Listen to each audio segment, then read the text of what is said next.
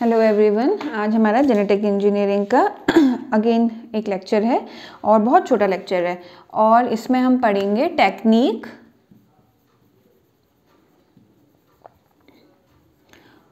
Of recombinant DNA कि हम recombinant DNA कैसे बनाते हैं। अच्छा एक मेरा आपसे रिक्वेस्ट है कि जब भी आप ये लेक्चर या आप वीडियो देखोगे तो इससे पहले एक लेक्चर है जिसमें हमने जेनेटिक इंजीनियरिंग के टूल्स के बारे में पढ़ रखा है। तो उसको पहले देखिएगा और फिर इसको देखिएगा तभी आपको समझ में आएगा क्योंकि इसमें जो टर्म्स आएँगे वो वहाँ हमने क्लियर करे हैं। तो आ, कैसे करेंगे? सीधे टेक्निक पे आते हैं। तो ऐस तो जब अगर इसमें क्या है कि सबसे पहले हम क्या करेंगे कि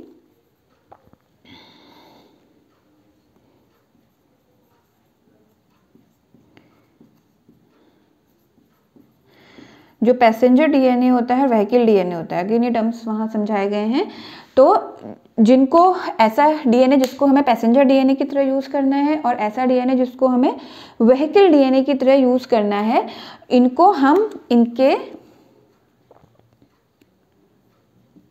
सेल से एक्सट्रैक्ट करेंगे। These are extracted from their cells ठीक है? तो जिस भी सेल से हमें पैसेंजर डीएनए लेना है जिस भी सेल से हमें व्हीकल डीएनए लेना है तो उन सेल उन उन सेल की हम लाइसिस करेंगे और फिर हम ये जो डीएनए है पैसेंजर डीएनए और व्हीकल डीएनए उसको हम एक्सट्रैक्ट करेंगे। अच्छा जब हम इनको एक्सट्रैक्ट करेंगे तो ऑफकोर्स इसमें दूसरे सेल कंटेंट भी मिले होंगे। तो अब दूसरा काम क्या होगा हमारा? दूसरे स्टेप में हम क्या करेंगे? By ultra by ultracentrifugation.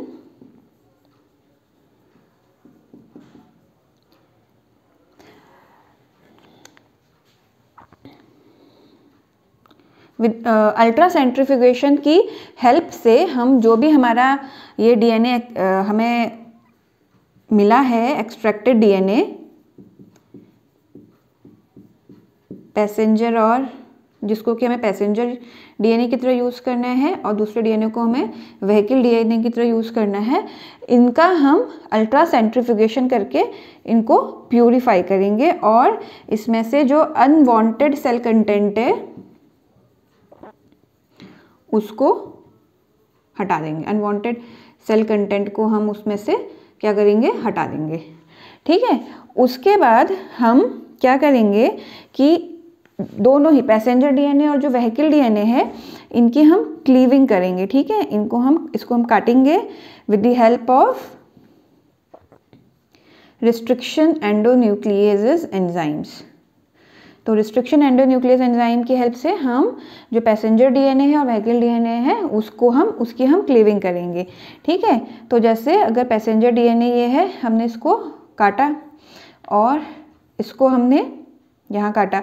तो जब हम काटेंगे तो ये इस तरीके से कटेंगे कि जो इनके स्टिकी एंड्स हैं, जिनको हम ला, जोड़ेंगे, ठीक है? जो इनके स्टिकी एंड्स होंगे पैसेंजर डीएनए और व्हीकल डीएनए के, ये एक दूसरे के कॉम्प्लीमेंट्री होंगे, ठीक है? ये एक दूसरे के कॉम्प्लीमेंट्री होंगे। यानी पैसेंजर डीएनए का जो, उसमें जो न्यूक्लियोटाइड सीक्वेंस होगा और व्हीकल डीएनए के एक स्ट्रैंड में जो न्यूक्लियोटाइड सीक्वेंस होगा, वो एक दूसरे के क्या हो जाएगा? कॉम्प्लीमेंट्री होना चाहिए। तो इसी इसी कॉम्प्लीमेंट्री सीक्वेंस को पाने, हम लाने के लिए रिस्ट्रिक्शन एंडोन्यूक्लियस एंजाइम का यूज़ करेंगे। क्योंकि हमें पता है कि यहाँ पर ये सीक्वेंस कॉम्प्लीमेंट्री अगर ये सीक्वेंस यहाँ पर पैसेंजर डीएनए में तो उसका कॉम्प्लीमेंट्री सीक्वेंस यहाँ पर व्हीकल डीएनए में है। तो पैसेंजर डीएनए को हम उस साइड से पर काटेंगे और व्हीकल डीएनए को हम उस साइड पर काटेंगे कि इनके कॉम्प्लीमेंट्री स्टिकी एंड्स बने। उसके बाद हम लाइगेज एंजाइम की मदद से हम इन दोनों स्टिकी एंड्स को जोड़ देंगे। तो जब हम, हमने दो अलग अलग डीएनए को यहाँ पे जोड़ा है, एक पैसेंजर था, एक व्हीकल था तो अब जब लाइगेज एंजाइम की हेल्प से हम इनको जोड़ेंगे तो हमारा जो नया डीएनए है, वो क्या है? रिकॉम्बिनेंट डीएनए ठीक है? क्योंकि दो अलग अलग टाइप के कॉम्बिनेशन से ये बना है। तो हमारा रिकॉम्बिनेंट डीएनए हमको मिल गया। उसके बाद क्या है? इस रिकॉम्बिनेंट डीएनए को हम होस्ट सेल के अंदर जैसे कि ई e. कोलाई है हम्म, उसके अंदर हम इसको डाल देंगे ठीक है? अब इसमें सबसे इंपॉर्टेंट चीज़ ये है कि आप एक ऐसा होस्ट सेल लेंगे जिसमें कि प्लाज्मिड नहीं होना चाहिए। विदाउट प्लाज्मिड इस चीज़ का ध्यान रखना है, ठीक है? जो होस्ट सेल होगा, उसमें प्लाज्मिड नहीं होना चाहिए। अब होस्ट सेल के अंदर ये कैसे जाएगा? होस्ट सेल के अंदर ऐसे जाएगा कि आप या जो होस्ट सेल है, या तो लाइसोजाइम से आप उसके अंदर टेम्प्ररी या ट्रांजिएंट पोर्स बनाइए, या आप उस होस्ट सेल को कैल्शियम क्लोराइड सॉल्यूशन से आप उसका ट्रीटमेंट करिए इन दोनों ही, दोनों में से जो भी आप यूज़ करेंगे, इनकी वजह से टेम्प्ररी या ट्रांजिएंट पोर्स बन जाएँगे।